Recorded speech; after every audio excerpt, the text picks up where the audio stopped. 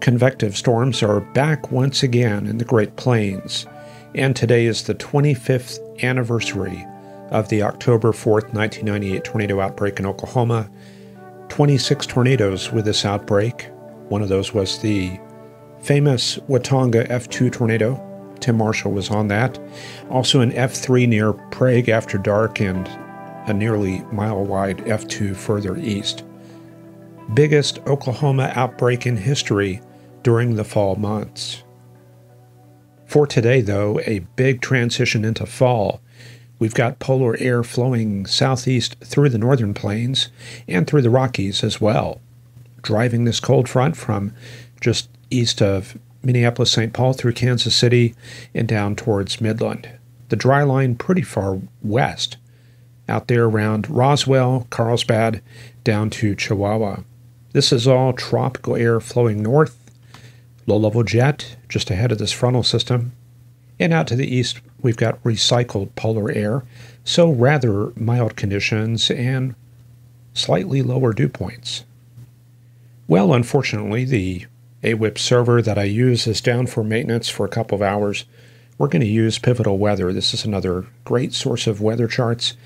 We're up at 300 millibars. This is up at about 30,000 feet near jet stream level and showing the Pacific very active. We do have that flow broken up into a series of high amplitude ridges and troughs. There they are, the jet stream coming into British Columbia, exiting Labrador. And the pattern does seem progressive. We got these troughs and ridges moving right along. There's a big ridge right there, but trough moving in from the North Pacific. This is associated with a atmospheric river that will be flowing into British Columbia this weekend and then working down the Pacific coast as we go into early next week. And there's the IVT chart thanks to UCSD showing our first atmospheric river moving up towards Anchorage, Valdez, and Yakutat. This is looking at the forecast from the GFS for tonight into tomorrow. And then we look at this thing coming up for this weekend. That makes a beeline eastward across the North Pacific and smashes right into British Columbia as we get into Saturday night and Sunday. Lots of moisture flowing in around Seattle, Portland, and we get to the end of the sequence, and here's atmospheric river number three, moving a little bit more towards Oregon, Washington, but a little bit too early to tell. Well, amazingly, we're still dealing with Tropical Storm Philippe. This is the 12th day of advisories. It's up to 40 knots right now. Now, interestingly, they've brought the forecast track west into Maine and Nova Scotia, and New Brunswick. That's very similar to what we saw with Hurricane Lee not too long ago.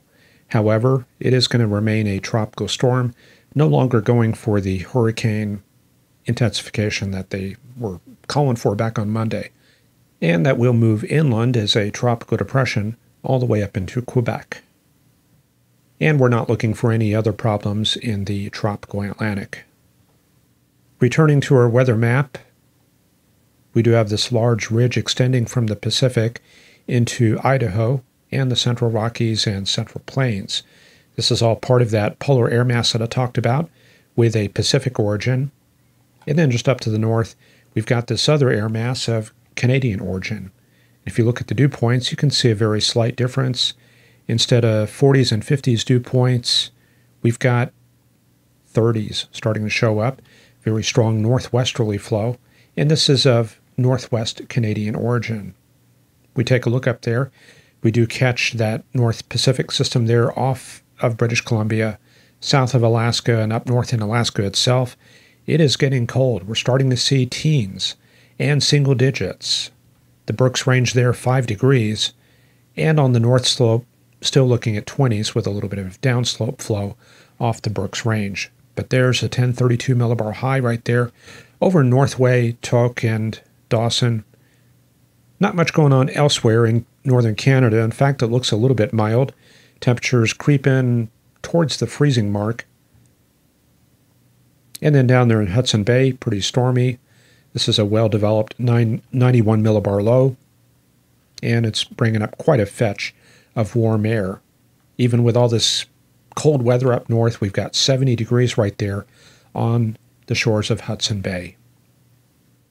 Well, the big story today is this enhanced risk across northwest Texas and southwestern Oklahoma. This covers Childress, Lubbock, Wichita Falls, Lawton, and Ardmore. We are getting that flood of watch boxes from SPC, but they are severe weather watches. And very sparse severe weather reports from Amarillo down to Childress and Plainview. That's going to be hell, about half dollar size and little bit of wind as well. So, yes, to a certain extent, we can see that cold front. It's going to be right in that area there. Also, the storms are kicking out outflow boundaries, so looks like there is some dry air being entrained into some of these storms, probably from the mid or upper levels. A couple strong cells south of Childress. Another one that's going to be just, I guess, uh, east of Plainview. Let's take a look at the radar. Oh, in fact, yeah, look at that right there. That's outflow as well, leading right up to that cell near Durant. And the radar showing numerous cells breaking out, so not much capping, but you can see that linear appearance to them indicating upper level shear. We are talking 0 through 6 kilometer bulk shears, and we can see a little bit of a difference in the air mass between this side of the outflow boundary and the other side. A little bit more clear. So, very likely a lot of the juicier tropical air is sitting right down in this area here. So, what do we see here as far as severe weather indicators? One thing you can do is look at how well the highest reflectivities are centered in the storm. For example, in this one, the highest reflectivities are pretty much right in the center of the core. So that would indicate kind of a non severe structure. It's very much the same with all of these. And going right down the line. Now, this one looks a little bit different. The reflectivities are shifted a little bit towards the right side of the storm. And by right, we mean that the cell is moving that way, and that's going to be on the right flank. So this could be an area right here where there might be an interesting updraft base, maybe something photogenic to take a look at. Anyway, there's the outflow boundary that separates the unturned tropical air flowing north. That's the moisture coming up. And let's see, there's the outflow boundary. Kind of lose it as we get further away from the radar, but I'm going to say that's kind of right in that area there. However, when you animate this, you can see that we've got these outflow boundaries gusting away from the storms, and when they get too far separated from the outflow boundaries, they tend to get undercut by their own outflow, and that's not conducive to severe weather. They can still put down downburst winds and hail as well, but tornadoes are rather unlikely. There's some outflow right there, some more gusting to the south, so it's just kind of a big party of outflow boundaries all over the place. And generally, when we have this, along with the increase in heating, we start getting organization of these cells into a linear complex, and that means a mesoscale convective system. The high resolution rapid refresh is useful for anticipating that organization, and we do see that looks very close to what we have on the radar right now. And if we go forward over the next few hours, we do see a convective complex coming together near Wichita Falls, Gainesville, Sherman, and around dark that moves down towards the Interstate 20 corridor, towards Greenville, Dallas, and Abilene. And that will continue overnight as an MCS into East Texas, northeastern Louisiana as well, and maybe as far east as Waco and Austin. Now we can see in that very last frame, this is going to be 9Z, about 4 in the morning, we see bulges on this MCS and some indication of mesolows. That's indicated by that black line right there. So this will be kind of a dynamically active MCS. That means we probably will have severe thunderstorm warnings going through much of the night.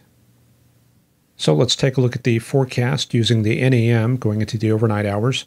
As we mentioned, an MCS will be moving through Texas, Pacific air filtering into the central U.S., and we can see thermal troughing right there as some of the Canadian air gets involved as well. So much of this is Pacific air, and this is our Canadian air, and they're going to eventually kind of blend together. So for tomorrow, we get that warm up. There's the afternoon map, but it will be cold in the northern plains. We're looking for highs in the 50s and 60s up there Meanwhile, out west warming up, getting that thermal ridging up to 78 degrees at Portland, 88 at Medford, and 91 at Sacramento. Then we go into Thursday night and Friday. Front continues moving east. That's going to be our midday map, and it looks like the front is approaching New York, kind of out in this area right there, and filtering right down there into the Gulf of Mexico. Yes, it is going to be a cold one for the northern plains. You can see the low thicknesses, 534 over Iowa. That's associated with that cold air coming down in the low and mid levels. Highs will be around 47 at Bismarck, 57 at Des Moines, and 51 at Minneapolis, 59 at Denver. Out west, thermal ridging up into the 80s and 90s in Oregon. And down in the southwestern U.S., looking for 100s once again with 102 at Phoenix and 102 at Palm Springs. And that's all for this edition of Forecast Lab. Thanks to our supporters, people like Patrice Brown, Harvey Chevalier, Brian Legic, Terry Taylor, Adrian Vasquez, and Robert Vermillion. All of you, thank you very much for helping us support the program. All right, then, we'll see everybody back here on Friday for another edition of Forecast Lab. Hope you have a great Wednesday evening. Take care, and we'll see you later. Bye bye.